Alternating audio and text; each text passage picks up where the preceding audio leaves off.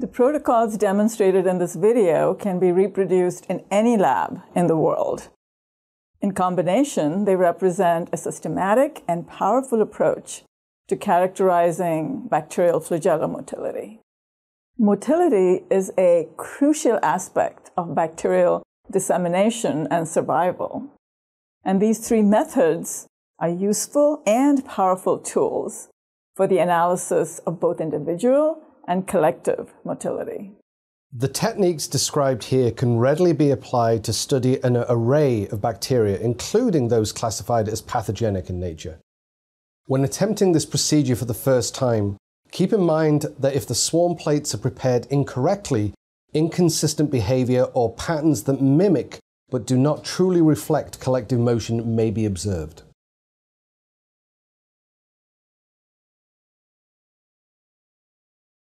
Grow overnight cultures of the desired motility deficient strain in 5 milliliters of Lennox broth at 30 degrees Celsius with horizontal shaking. Then subculture in fresh LB under the same conditions to exponential phase. Inoculate 6 microliters of the culture into the center of a soft agar plate, pushing the loaded pipette tip into the agar to gently expel the contents.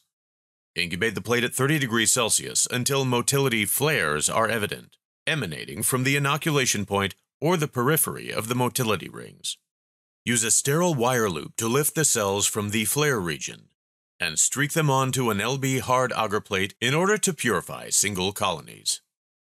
To confirm that the isolated suppressor mutants have restored motility, culture them on soft agar plates for strains of interest.